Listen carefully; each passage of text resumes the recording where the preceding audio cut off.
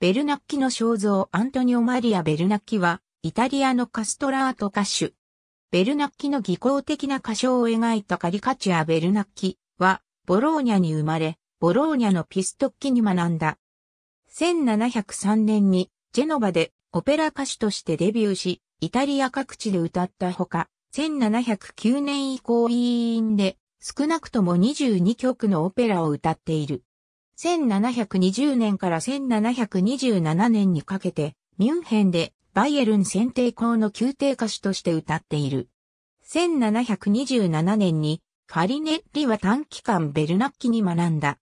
1721年にローマでアレッサンドロ・スカルラッティ、グリゼルダの主役を演じている。ベルナッキは名人芸的で装飾的な歌い方を創始し、楽器のような音を出したりしたという。しかし過剰にアクロバティックな技巧に走った歌唱法に対して人々は必ずしも好意的ではなかった。ベルナッキが最初にロンドンで歌ったのは1716年から翌年にかけてだった。このシーズンにヘンデルが新作を上演することはなかったが、ヘイマーケットの国王劇場で上演されたアレッサンドロ・スカルラッティ、ピロとデメトリオのために新しいアリアを3曲書いている。ベルナッキはこの曲とパスティッチョのクレアルテで歌った。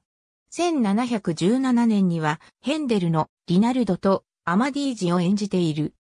オペラ工業会社である王室音楽アカデミーが倒産した後の1729年のシーズンにはセネジーノに代わる主役カストラートとして新たに契約を結んでロンドンで活動し、ヘンデルのロターリオ、パルテノーペ、及びパスティッチョのオルミズダを歌ったが、いずれも不評に終わった。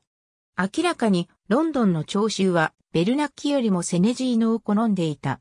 結局翌1730年のシーズンにセネジーノが復帰している。ベルナッキは音楽教育にも力を入れた。